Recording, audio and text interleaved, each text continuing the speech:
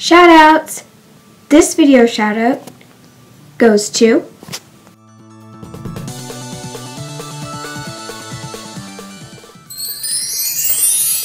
Hey Strawberry fans, today we will be customizing Frost-T Fridge into our own color. Let's get started.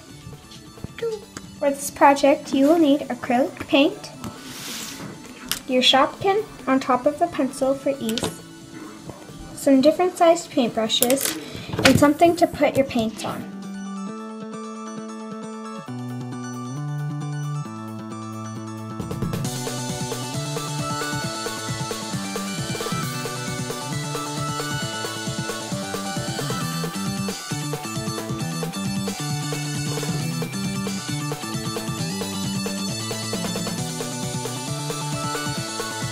Now that I've finished painting, I'm going to be doing the eyes. So all you're going to need for this is a fine tip Sharpie marker and another one of a Frost-T Fridge Shopkin to look at.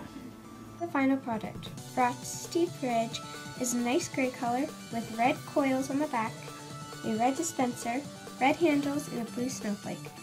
You need to make sure you comment down below for a shout out in our next video and make sure you click the subscribe button and also comment down below which Shopkin you want me to customize next.